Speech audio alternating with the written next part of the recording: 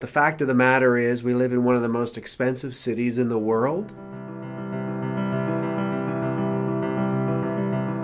I'm Michael Freedman. I'm the Executive Director of Jewish Free Loan Toronto. Jewish Free Loan Toronto was founded in 1924 with the single aim to help people help themselves.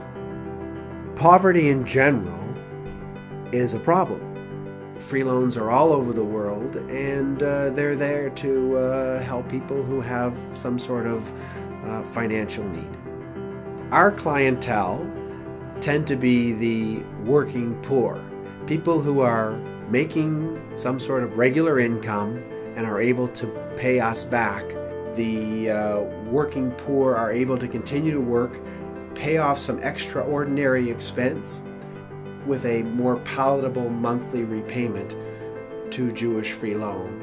Quite frankly, they probably uh, need to make the difference between what they're making in salary and what the uh, huge expenses are from month to month.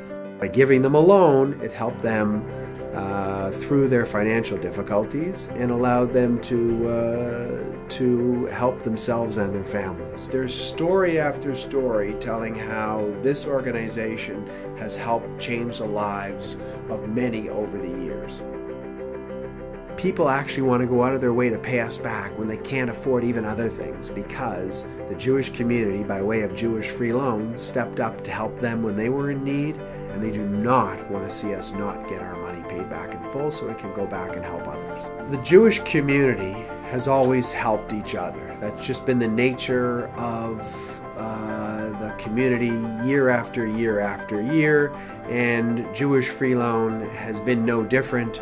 Formed in 1924, it was about a few helping others who were unable to help themselves.